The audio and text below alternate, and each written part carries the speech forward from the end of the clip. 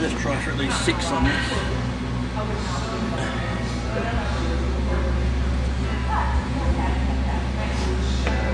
Have I get you to pass this one if you can. Yeah, no problem. Save me hoiking up with one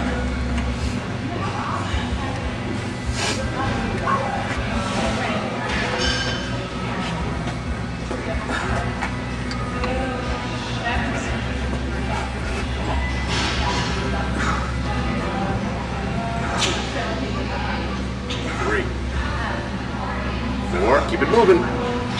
Five. Again.